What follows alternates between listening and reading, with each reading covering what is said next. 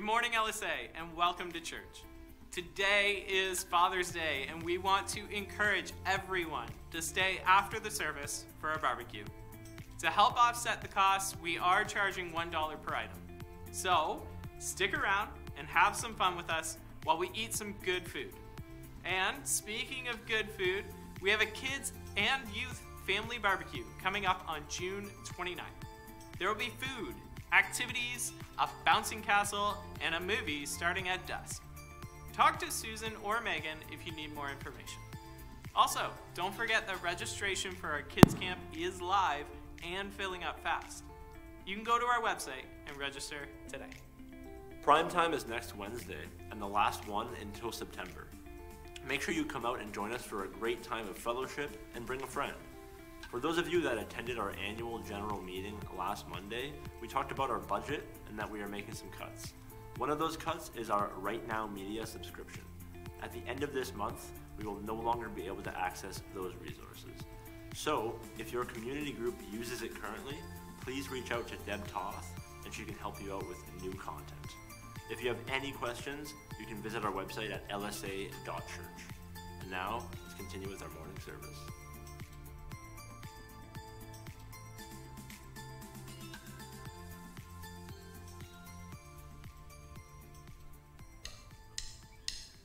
I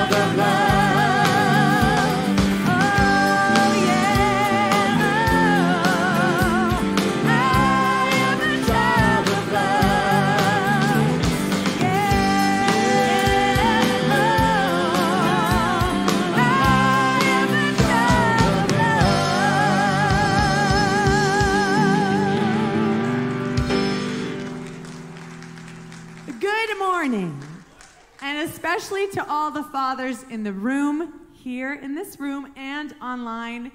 Congratulations on your day. we are so thankful for you. Uh, you're awesome. You make life better. And I hope you feel really celebrated and special today. So join us in the rest of this worship and let's have a great time together.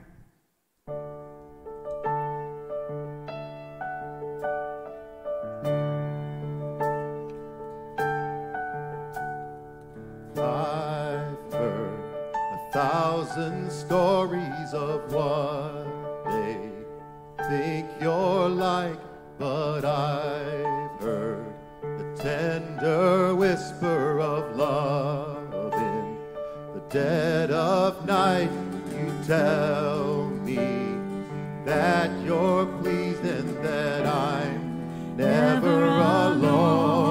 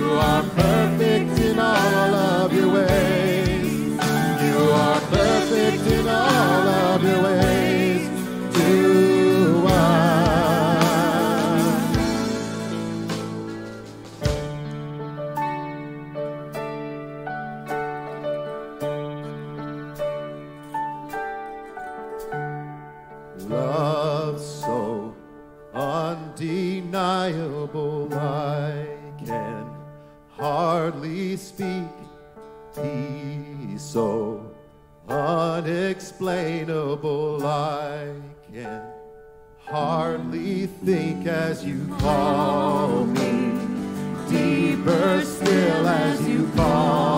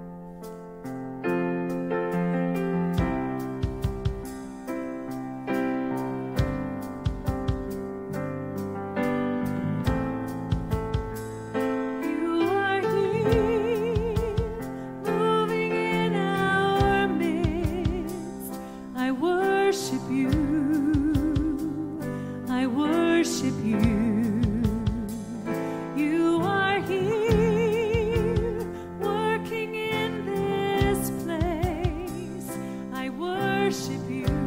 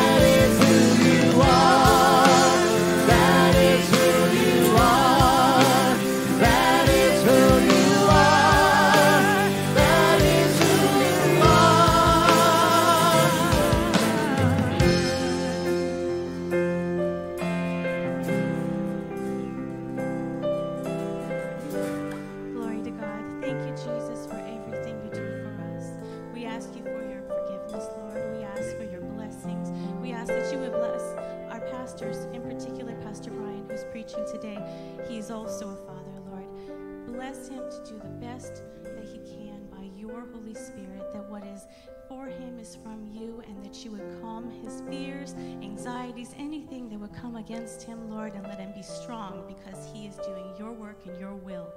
Thank you, Lord, for healing fathers today. And we can't forget the moms, them too. Bless those fathers to know how to guide their children, to be stronger in doing so, to understand your willingness. Give them the right words by your Holy Spirit to guide their families and lead in worship, in spiritual well being, and kindness. And Lord, we ask that you would please heal the bikers let them be safe as they come, as they're here, as they go back on their way, especially on this treacherous road we have here. Lord, bless that road to be safe today for all, and let, let that offering be multiplied as the offering is taken up today. In Jesus' name we thank you. Amen. Stories. Everyone has one. They are passed down from generation to generation. We've all listened to a funny story, a sad one, a happy one, or stories that make us mad. We've listened to stories about people we know or a story about someone we've lost. Stories are something that bring people together. They connect us as we reminisce about our past or look forward to the future. The Bible is a collection of stories, and in those are sections that we know as Bible stories, which tell the events of some of the most amazing people who have ever existed. But what if they are more than just stories?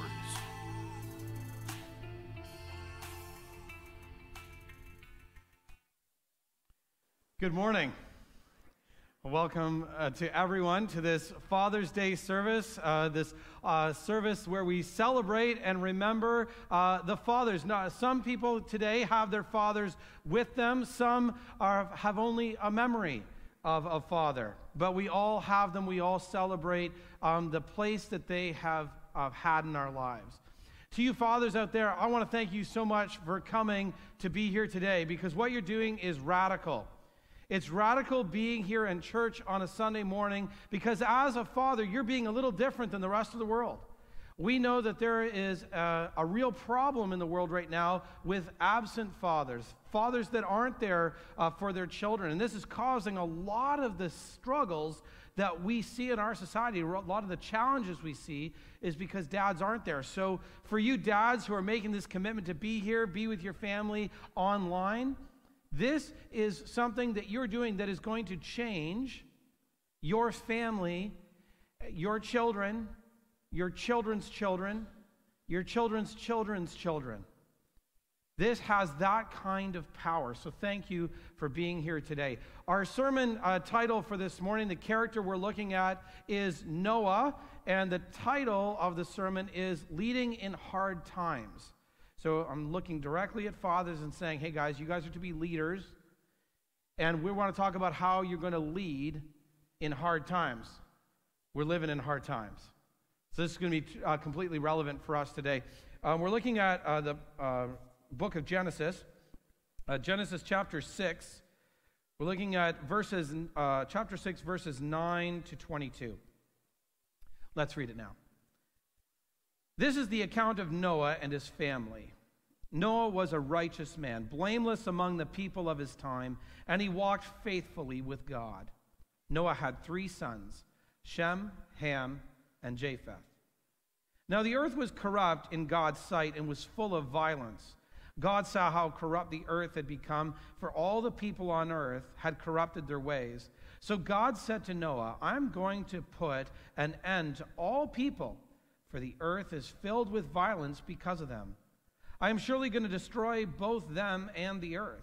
So make yourself an ark of cypress wood, make homes in it, and coat it with, uh, make rooms in it, sorry, and, and coat it with pitch inside and out.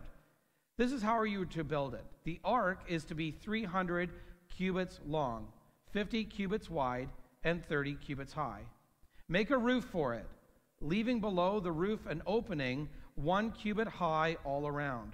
Put a door in it on the side of the ark and make it, uh, make it lower, middle, and upper decks. I am going to bring floodwaters on the earth to destroy all life under the heavens, every creature that has the breath of life in it. Everything on earth will perish, but I will establish my covenant with you, and you will enter the ark, you and your sons, and your wife, and your sons' wives with you. You are to bring into the ark two of every living creature, male and female, to keep them alive with you. Two of every kind of bird, of every kind of animal, and every kind of creature that moves along the ground will come to you and, and be kept alive. You are to take every kind of food that is to be eaten and store it away as food for you and for them. Noah did everything just as God commanded him. The word of the Lord. Let, let us take a moment and pray. Heavenly Father, we thank you so much for your word to us, for this example of Noah who has led his family through hard times. Lord, we just pray that you would guide us now, that you would be with fathers. Help us to receive this message. Help us to be moved by it. Help us to be transformed, that we could go out in this coming year and continue to live as fathers that emulate and look to you as Father and try to emulate that. You're the perfect Father, God, and we want to live, we just want to live with a little bit of what you have that we can pass it on to our kids. We ask this in Jesus' name. Amen. One of the things that I've noticed in our society today is that uh, the age that men become dads is changing, right? Back in the 50s and 60s, people became dads like, you know, in their 20s, right? That was the normal time you would have your first child. But in our day, men are becoming dads in their 20s and 30s and 40s. And I think there's even some out there in their 50s that are becoming dads, right? And maybe they're their first dad, the first time they're a dad. Now, I can somewhat commiserate with both groups. Um, I have, I became a dad at 26, and then I had our last child at 39. So I've got that nice spread. I can understand those uh, differences, the differences between being a young dad and an old dad. Uh, so, some of those differences. For when I was a young dad, one of the things I love to do, first child, what do you do? You're a daredevil. You're throwing the kids up in the air. They're twisting around. You're, you're tossing in all sorts of directions, right? It's, it's like a fun toy. You're, you're playing with your child. You love it, right? Now, as an older dad, I, I, have to, I have to get aside. I have to stretch a little bit. I have to squat down before Sophie and Evelyn are going to come run to me. I squat, you know, keep the back straight, bend the knees, lift properly, because the last thing I want to do is throw my back out. As a young dad, I was thinking about getting my first mortgage. That was, I wanted to get a house. That's, that's what I was focused on. I wanted to get a house that my kids could grow up in. Now, as an old dad, I'm, I'm trying to calculate how many years before I can downsize, right? I'm starting to say, look, cutting the lawn and having a nice big lawn was great when I was in my 20s. Now I don't like it. I'm thinking, how can I get it as small as possible or get some of that AstroTurf lawn that people are getting and, and put that out? As an old dad, or as a young dad, I was working overtime. I wanted to put in as much time as I could. I wanted to put in all those hours because you want the promotion because you're trying to make your way up. The organization, as an old dad, I'm trying to balance my life. It feels like it's impossible to balance my life, but I'm trying to balance my life at work and, and at home with my family because what do you realize as an old dad? As an old dad, you start realizing these years are precious and I only have a few of them. I don't think we see that as young dads. As young dads, we're kind of we're, we're, we're driven uh, to accomplish. But then we start realizing we only have a little bit of time with them. And so we start trying to balance that. But Noah takes being an old dad to a whole other level. Genesis chapter 5, verse 32 tells us that he's like 500 years old when he becomes a dad for the first time. Now, there's lots of theories out there about how people could get to the age of 500 years, and one day we're going to talk about that. But the miracle I want to talk about this morning is that after 500 years, he wanted to become a dad. He wanted to have kids. Can you imagine how that would mess up your vibe at home? You've been a single guy for 500 years. You've kind of got things the way you like them. And all of a sudden, you're going to throw three boys into that? T- tell me, guys, can you imagine? Imagine you guys that are in your 60s and 70s, can you imagine now having three baby boys, three toddler boys all running around? The guys that are like in their 20s going, I got three boys and I can't handle it. Uh, even now, right? It's, it's tough, especially if they're active boys. Even if he had superstar genetics, at some point he's going to be asking himself, What have I got myself into? Right? I'm too old for this. But just like any dad, while some days were hard, he would have also had days where he was just so thankful for these children that God had given him. In the passage we're going to be looking at this morning, it says right in verse 9, this is going to be an account of Noah and his family. So while Noah is primary, the primary person in the story, this is more than just about Noah. This is about Noah and his kids and his wife. Just like if someone were to ask you, dads, to tell your story, you couldn't tell your story without talking about your family. They have such a big impact on our lives. Noah, we're going to see, is going to have to lead his family through some very hard, very challenging times. They'll be hard because the world around him is falling apart, it's corrupt. And he's trying to lead his family during this time to follow God, to love, to love God. What an important message for us today, where we see our society kind of falling apart. What I want to give you this morning, what I'm hoping that you'll leave with this morning as a father or a grandfather, is that you're going to lead, you're going to leave with some knowledge about how to lead your family in a godly way while living in an immoral world. So let's begin by looking at Noah. Noah and his day, verses 9 to 12. Here's an important truth Children copy what they see adults do. Children copy what adults say. I've learned through experience the scariest words out of my child's mouth when talking to another adult is, My dad says. And that flash of moment, it's usually Abigail who has done this to me in, in my past. She always likes to quote what I say to other people. And in those uh, in that moment, that flash of moment, I start thinking back over the last two weeks and the things that I've said to her, or things I've said around her. And I've, I try to make a decision. Should I run in, grab her, and make up some reason why I'm whisking her away? Or should I just grin and bear it and hope for the best? Well, the great thing about Noah is that he wasn't maybe quite like me. He was, he was a great example for, uh, for his kids and probably never said anything untoward. It says that Noah was a righteous man. Noah was a righteous man. Now, the, world, the word righteous sounds spiritual, I know. But in the Old Testament, it wasn't meant in a super spiritual way.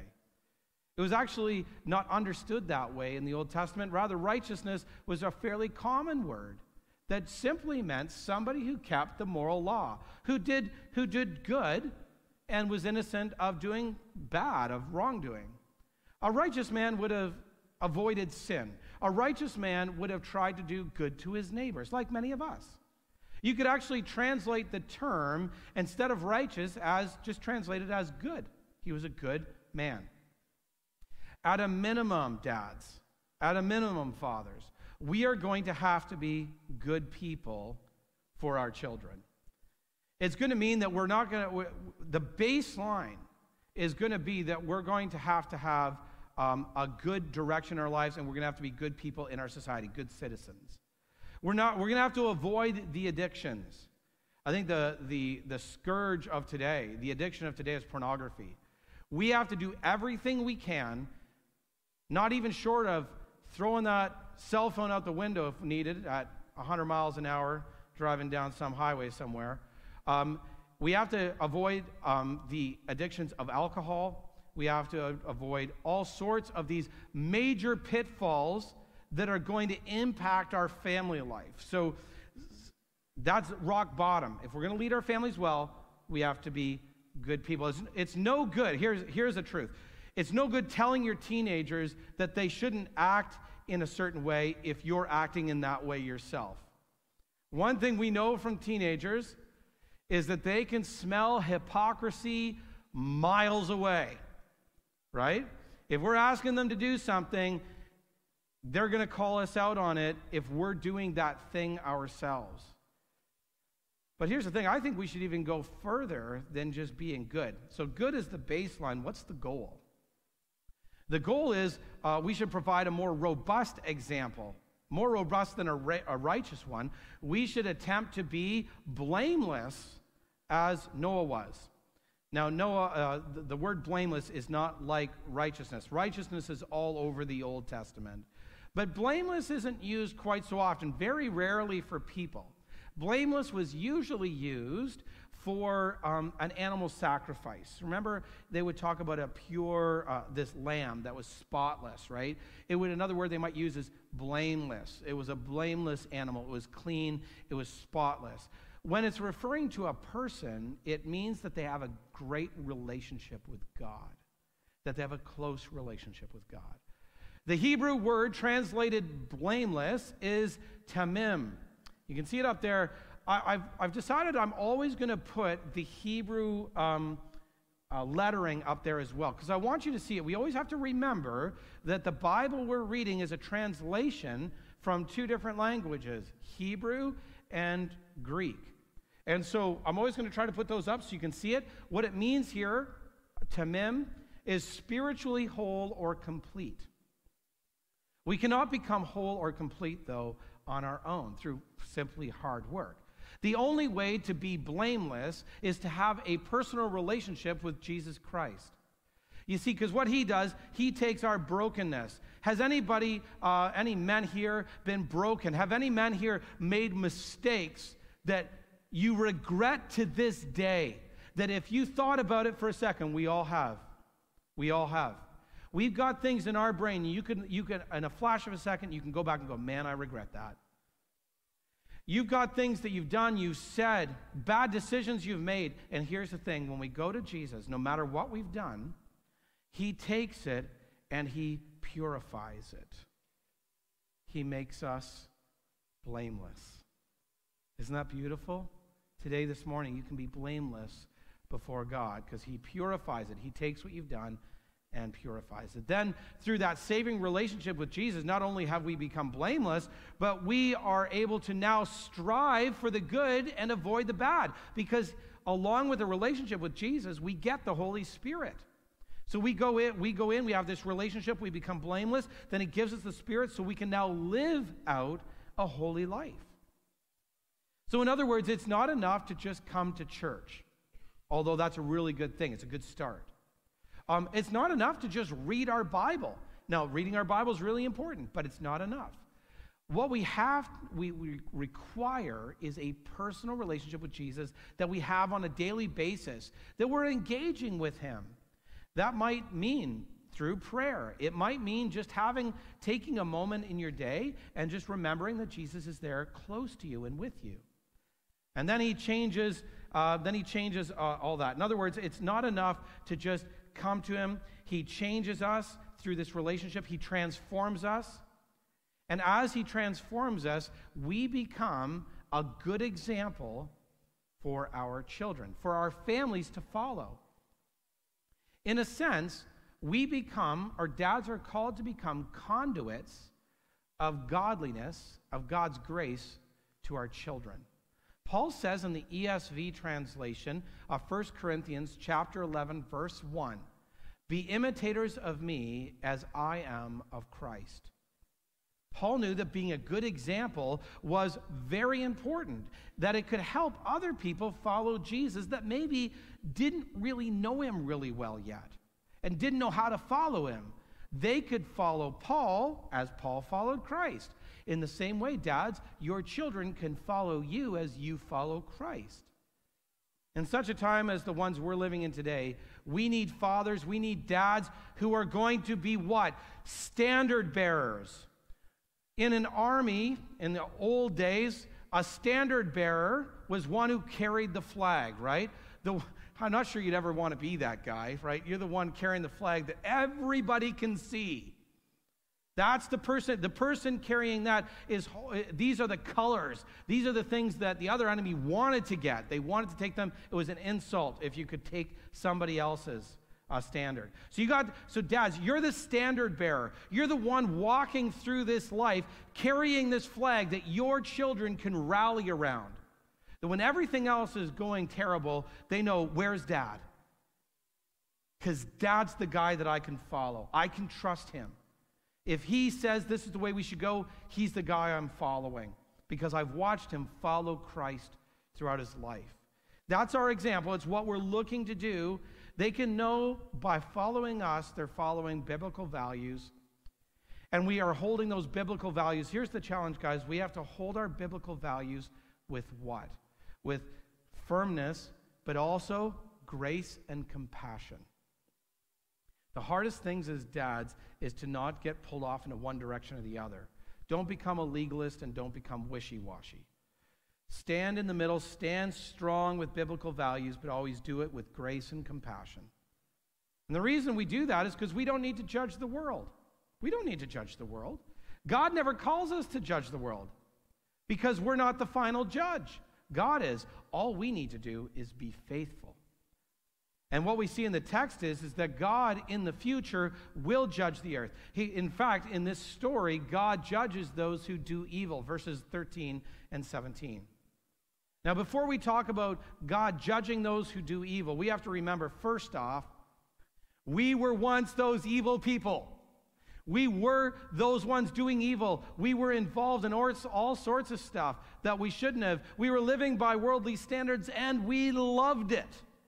It was great. It was a great time. We, we loved being involved in that. We were living in our sin. So while it's true that God judges those who do evil, we remember we were once those, and that we now stand as living examples of those who have been given grace, those who have been given forgiveness. We stand as an example to those that are still in sin that there is a way out of it. And that way out of it is a new life in Jesus Christ. So, what we're witnessing here in verses 13 and 17, it's not a repentant group of people, and this is the issue here. It's not a repentant group of people who were just complete, they were instead, in fact, completely unrepentant. They were fully engaged in their sin, and they did their sin without ceasing. They would not stop no matter what was said to them, no matter what was taught. They were living out this sin not just once a day, uh, once, a, once a week, once a year. This was a daily basis. They stood in complete and full and conscious opposition to the will of God. They had what is called hard hearts. As a result, God says He's going to put an end to all people. All the people who were living uh, were not living like Noah and his family. He says He's going to destroy them. In verse 17, God reveals the judgment he's going to unleash on the earth. It's going to be floodwaters. The floodwaters will not destroy all life, obviously. What life will not be destroyed when the flood comes? Fish. Fish are going to be like, this is the greatest day ever. What is going on? I can go anywhere I want all around the world. There's no shore anymore. Everything is a place that I can go. So, not all life on earth is going to die when the floods come. What we're going to see is that some are going to die, the ones that are on earth. He's going to destroy those are on earth. That is, that, that have that breath of life in them. In a similar way, we know that God is going to bring judgment once again to earth. But the de- next judgment isn't an intermediate one. So the flood is an intermediate judgment. That is, it's a judgment, but some people stay alive and then continue to keep living out on the earth. Some animals continue to live and uh, continue on on earth after. But the judgment that comes next, the one that we're looking at, uh, that is coming in our future someday, is where God is going to come and he's going to judge the earth, but then he's going to recreate it. He's going to recreate the heavens and the earth, and he's going to uh, recreate, give new bodies, resurrected bodies to Christians. What we see in the intermediate judgment, though, is a flood that God gives Noah, where God gives Noah a way to protect his family. Verses 14 to 16. I know as a dad, I am concerned about the world that my children live in. I'm concerned about the, what the world is communicating to my children, especially online. I think we're all concerned about that. It's not that I don't trust my kids, but I know how devious and sneaky the world can be. It's got into my own heart at times, right? It's got in and, and kind of given alternate messages, and I find myself following them. So I don't want I don't want my kids to get that. I don't want my kids to have this stuff in their head and, and in their hearts and causing all sorts of problems. The way they get into kids' minds and lives today, the way the world gets in and messes with their hearts, is through the cell phone. The cell phone is always with them, right? It's a way, uh, even at night, you know, up in a bedroom um, while they're trying to fall asleep. You know, they have this device where the world has a direct line into their world. And the way they get in is, is through these cell phones. And that's why my young teenagers, to their, their great shame and chagrin, do not have a cell phone. The rule in our household, and this is a great one, and I would suggest this to all people. This is a great rule. You can't have a cell phone till you have a job where you can pay for half of the plan. It also keeps the plan really cheap. All of a sudden, they're like, whoa, I have to pay for half of that? Okay, I, I need to, I, well, cheapest plan, talks and text, that's it. That's all I want. And this is a good plan, right? Because what, it, what it's doing is encouraging them to take responsibility, to be able to, to get that. It also, if they don't want to work, extends how long before they end up having one. Now, this causes all sorts of problems, right? Because when the kids go to school now, everything the teachers do, they're always using the cell phone as their access to the kids. And so this is a, a challenge. Now, there's lots of other ways you can do this, uh, obviously, through uh, all sorts of um, ways of parental controls. This is just one way that we have found uh, keeps things really easy. In Noah's day, God gives Noah a way to protect his family, kind of like what I'm doing with my family, like you do with yours. He's giving a way to protect uh, Noah's family. He's giving them a rescue plan. God's plan from the world's perspective is far crazier than not giving a teenager a cell phone. God tells them to build an ark. He tells them to build an ark. Now, the word, I always thought the word ark meant boat, but ark does not mean boat. Does anybody uh, remember um, Indiana Jones? Indiana Jones in the Last Crusade, that kind of stuff. The Ark of the Covenant, right? What is the Ark? The Ark is a box that contains things godly things. The ark is a box that contains godly things. Now, um, this ark is a lot bigger than the Ark of the Covenant. The Ark of the Covenant could be hid away in some tents, right? So nobody would even know if you walked into uh, wherever the Israelites were, you walked in, you wouldn't even know the Ark of the Covenant existed. But this ark, every single person in Noah's house, uh, community is going to know about the crazy guy building the ark. He's going to, when he starts building this, every, other nations are going to be making fun of him because of what he's doing. Notice its size. It's 300 cubits long, 50 cubits wide, and 30 cubits high. A cubit is an ancient uh, form of measurement. It's about 18 inches. Uh, a cubit is about 18 inches. So this makes this a huge box, right? 450 feet long, 75 feet wide, and 45 feet deep. Here's a recreation of the ark. If you wanted to go see it in Kentucky, uh, it's a it's a goodly size. It's a it's a very very big boat. If everyone wants to go down to Kentucky driving through, that might be a cool thing to go see. So everybody would have been aware of what Noah was doing and would have called him crazy. But here is the thing sometimes following God, sometimes protecting your family is going to mean people are going to call you crazy. They're going to call you nuts. You're going to look weird to those people around you. Think about praying before a meal at a restaurant. You go to a restaurant and you're going to pray. And you pray at the restaurant, and it is a form of protection. It's a kind of a form of accountability and protection all at once. It's telling your children when you decide as a dad to stand, to sit at that head of that table at that restaurant, and you pray for your family and for the food. What you're doing is you're saying to your children, "I'm no different when I leave the home as when I'm in the home. I'm a Christian in both places." And you're also allowing the, them to go, "Okay, it is okay to be a Christian in the world. It's okay. My dad does it." My dad prays for us. So this is good. Yeah, at the same time, you're going to have people just down on the other table or the waitress that comes back, and they're going to look at you praying and they're going to think you're crazy because they don't have the faith that you have. Furthermore, notice that Noah having the protection of God still requires effort on Noah's part. It would have taken a long time to build the ark right? He would have had banged up fingers, banged up thumbs, banged up shins. He would have a cut, hands uh, would have been cut. Investing in protecting your family costs something. It requires something from you. You have to invest yourself. God could command you to do it, God can support you in doing it, but you still need to do it. If we're going to protect our families, it's going to take time, it's going to take energy. It's going to mean taking time to read the Bible to our kids. It's going to mean taking time out of our day to have spiritual conversations with them. It means setting aside time to be at church and to study the Word. And that's exactly what uh, God asks of Noah. He says, You have my word. Now, what I want you to do is trust my word. God calls Noah to trust his word. Verses 18 to 22. Last week, we talked about this interesting word, covenant. A covenant is a divine promise that usually obligates God to certain actions and believers to a certain response. In this passage, though, a covenant is something that God does. This covenant is God without requiring anything really of human beings.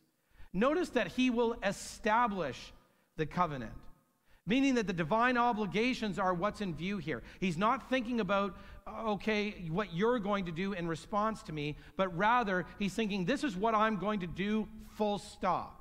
I'm going to establish this covenant. And notice he's going to establish it. He's not establishing it, he will establish it in a future time. In essence, then, what he's doing is he's telling Noah you have to get ready. You have to, right now, you have to trust me for the future. You have to trust that I will establish a covenant with you. You have to follow my command, not knowing for sure what the future is going to ha- hold. But that meant that Noah had to trust God. Then, doing what he's called to do, he will receive a covenant with God after the flood, after the judgment. He has to trust God that he will be um, proved right to all those people, those naysayers. And what we know, uh, and we know that a covenant was established. We read it later in Genesis, right? There was a covenant that was established that he would never kill all the rest of humanity. And what did he uh, set as a sign of that covenant? What was the set? What was the sign? Rainbow, right? Now, I gotta admit, sometimes I have such a juvenile way of looking at the Bible. Sometimes I look at it, I, I can't believe I even thought that. For the longest time, probably up to like this week, I kept thinking that God, He was trying to say that He made the rainbow. And I'm like, that doesn't make any sense, right? Because rainbows happen because of rain and, and, and because of the refraction of light. I was like, oh, I get it now. The rainbow had always been there. All He was doing is saying, whenever you see this, I'm going to set that. That thing uh, is a sign. He could have done anything. He could have picked anything and said, That thing, that thing's a sign that you, whenever you see that, remember that I've made a covenant with you. That's all he's doing. He wasn't making it happen that day. He was just saying, That thing will be a reminder to you. So then, uh, Noah was supposed to, and his family are supposed to follow God through this indeterminate amount of time. They didn't know exactly to the second when this flood would start. They just knew that judgment was coming and they needed to follow him. During that time, they simply had to, again, just continue on in the line they had. They didn't have to be perfect because God's grace was covering them, but they had to follow him. Look at verse 22, the last verse. Noah did everything just as God commanded him. This is before the flood, this is before the judgment, and he and his family followed God. Friends, fathers, is the same way with us this morning. We all want to protect our families in these difficult times, in these times where the world opposes Jesus Christ and opposes biblical values, basic morality, even. We live in corrupt times that requires to invest in our to invest ourselves into making sure that our families float above the cultural world, above that culture, the cultural degradation. We have to be making sure that our children and our families can float above the storm of judgment that is just around the corner.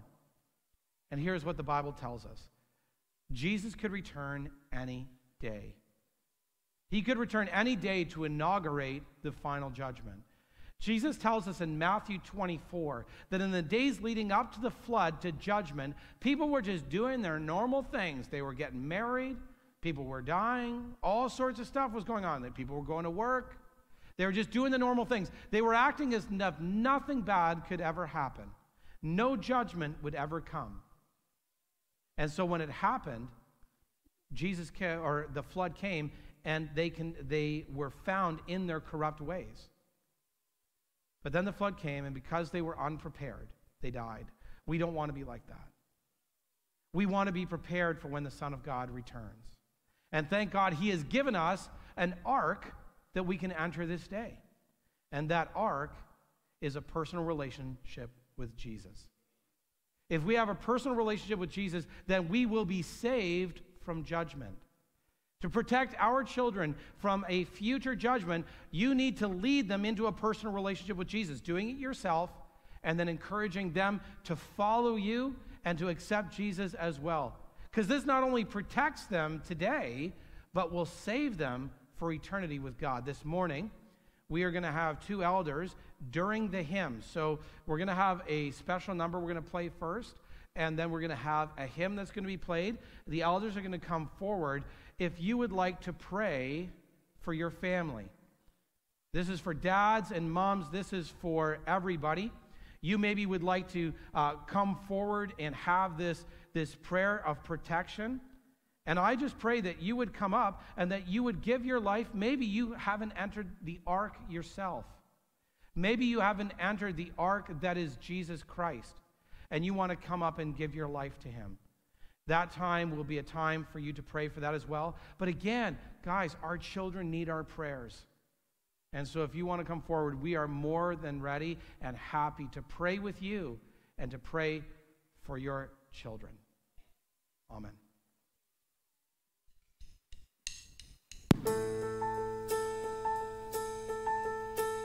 Sometimes sorrow is the door to peace.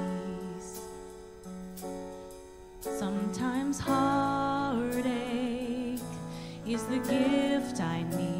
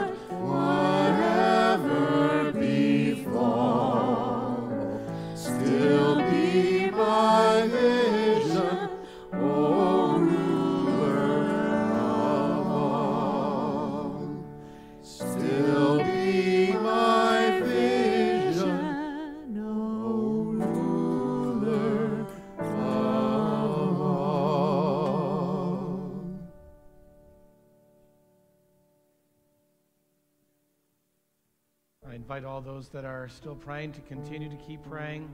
This week's challenge is to protect your family like Noah by leading them into the ark, the ark that is Jesus.